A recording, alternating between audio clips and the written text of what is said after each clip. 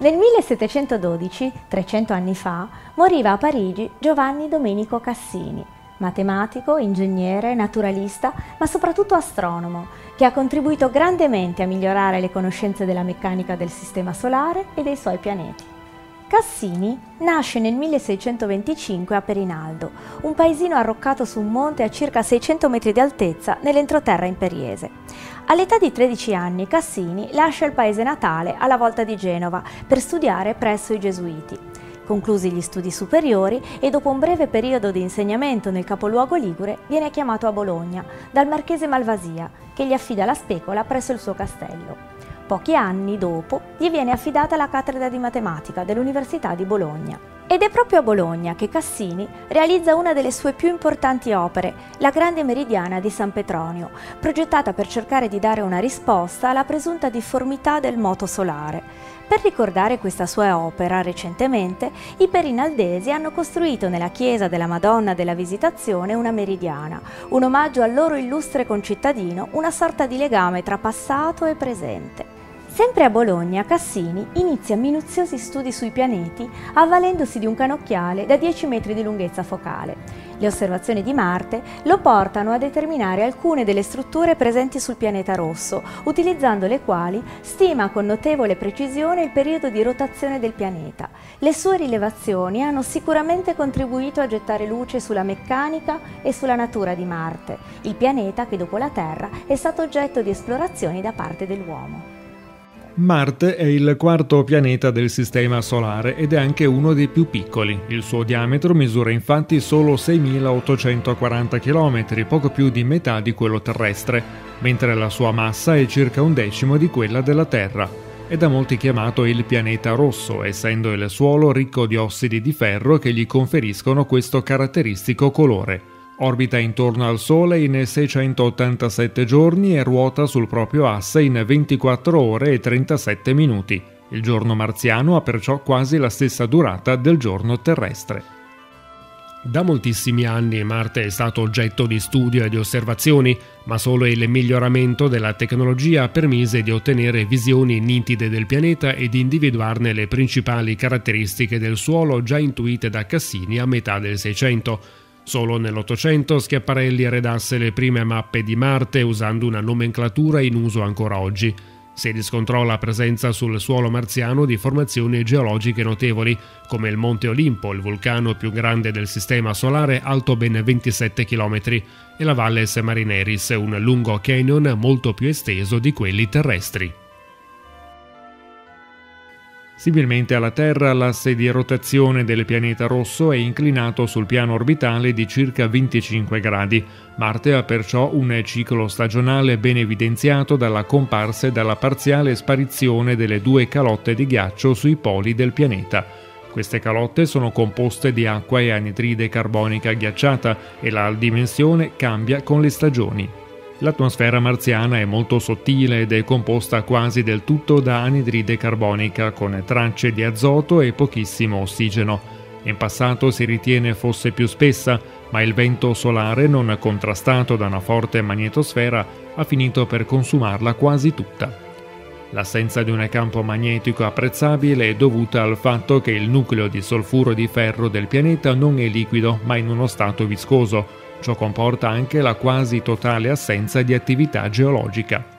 L'uomo ha inviato numerose sonde robotizzate verso Marte. Le prime ad atterrare sul pianeta sono state le Viking 1 e 2 lanciate nel 1975 allo scopo di raccogliere informazioni relative al suolo, all'atmosfera e a eventuali tracce biologiche.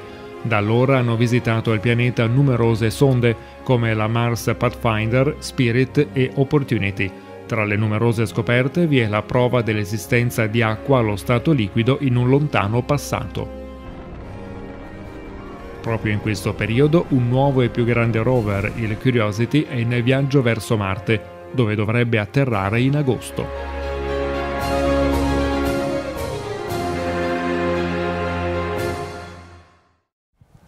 Di Cassini non si limitarono a Marte. Sempre nel periodo bolognese, Cassini osserva la grande macchia rossa di Giove e integra gli studi iniziati da Galileo relativi agli astri medicei. Quello gioviano è uno dei più complessi e affascinanti sistemi di satelliti in orbita attorno ad un pianeta.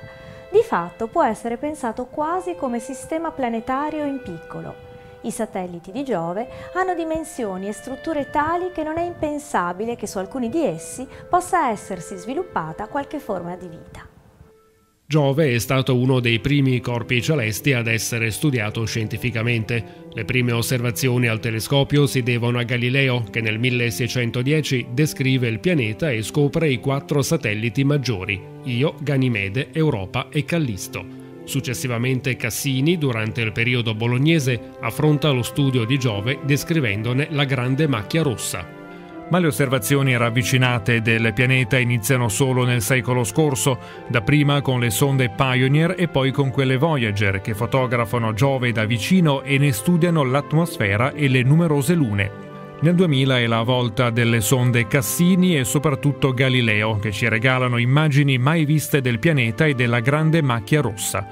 I dati raccolti durante le varie missioni ci hanno permesso di formulare nuove ipotesi sulla natura di Giove e di comprendere meglio la struttura dei satelliti principali.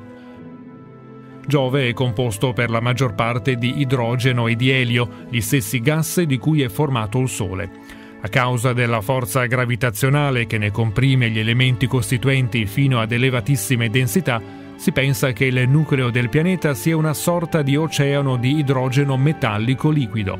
Proprio questo oceano sembra essere responsabile dell'intensissimo campo magnetico che circonda il pianeta e che si estende per oltre 100 volte le dimensioni del pianeta stesso.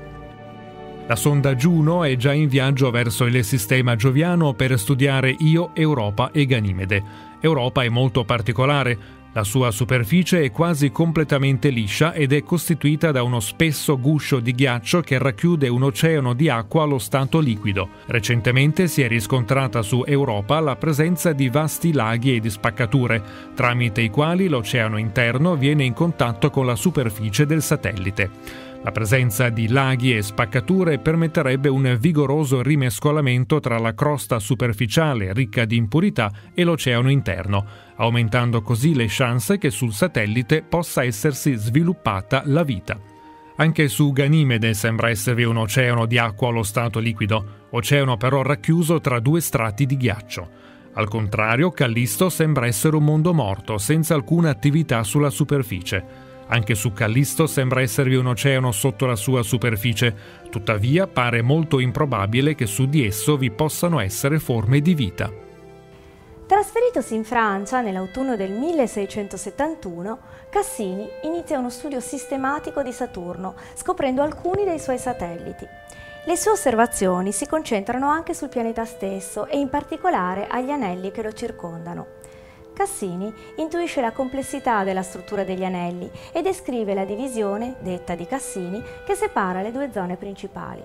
In onore dello scienziato perinaldese, la NASA e l'ESA hanno dato il suo nome a una missione interplanetaria robotizzata per studiare il sistema di Saturno. Nell'ottobre del 1997 il vettore Titan IV lancia nello spazio la sonda Cassini-Huygens che nel giugno del 2004 raggiunge Saturno e i suoi satelliti. Saturno, con il suo complesso sistema di anelli, è sicuramente uno degli oggetti più affascinanti del Sistema Solare e rappresenta il secondo pianeta in ordine di grandezza dopo Giove e il sesto in termini di distanza dal Sole. Saturno è un gigante gassoso costituito prevalentemente di idrogeno ed in minor parte di elio. Fu osservato da Galileo nel 1610 che però non riuscì a comprendere la natura di ciò che circondava il pianeta. Dovette passare ancora una cinquantina di anni prima che Huygens e Cassini potessero riconoscere la presenza degli anelli attorno al pianeta e ne studiassero i satelliti maggiori. Oggi sappiamo che gli anelli sono composti per lo più da piccoli oggetti ghiacciati la cui grandezza varia dal micron al metro e organizzati secondo strutture complesse di forma pressoché piatta con uno spessore medio dell'ordine di 10 metri. Poiché l'asse di rotazione di Saturno è inclinato rispetto al suo piano orbitale, anche gli anelli risultano inclinati per tale ragione l'inclinazione apparente osservabile dalla Terra dipende dalla posizione di Saturno lungo la sua orbita, che ha un periodo di circa 29 anni. La massima visibilità degli anelli dalla Terra si ha durante i solstizi di Saturno, cioè circa ogni 15 anni. Durante gli equinozi invece gli anelli, assumendo una posizione di taglio, progressivamente svaniscono fino a diventare invisibili. Anche se gli anelli sono poco visibili, durante gli equinozi di Saturno si sono potute osservare su di esso splendide aurore boreali e australi, che evidenziano da un lato la presenza di un intenso campo magnetico attorno al pianeta, dall'altro una leggera anisotropia di tale campo magnetico, che è risultato essere più intenso al polo nord rispetto al sud. Il 14 settembre 1712 Cassini muore a Parigi e due giorni dopo viene sepolto nella chiesa parrocchiale dell'osservatorio in cui lo scienziato lavorò per circa 40 anni. Sebbene non fosse un teorico, Cassini fu un attento osservatore ed è indiscutibile il valore delle sue scoperte che permettono di collocare lo scienziato perinaldese tra i più grandi astronomi della generazione prenitoniana.